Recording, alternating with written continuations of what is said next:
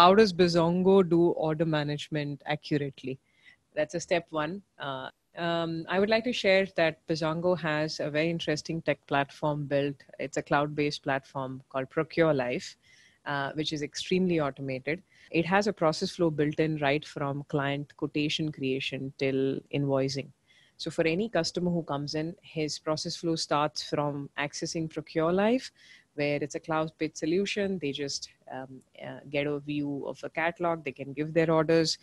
Um, it's actually very interesting that the first time is about system setup but when you go to repeat orders uh, repeat orders become very interesting because every data point is there the customer's time to order is reduced the moment the time to order is reduced your entire supply chain process gets managed from that start point um, it's the cataloging is something which we are building more extensively um, that's something that uh, basically gives us an idea of how your customers can be managed proactively uh, rather than reactively.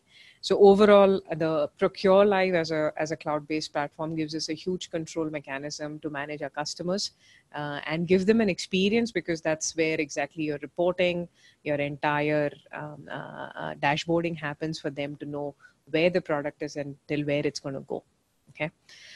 Um, that's how we are managing our order management today.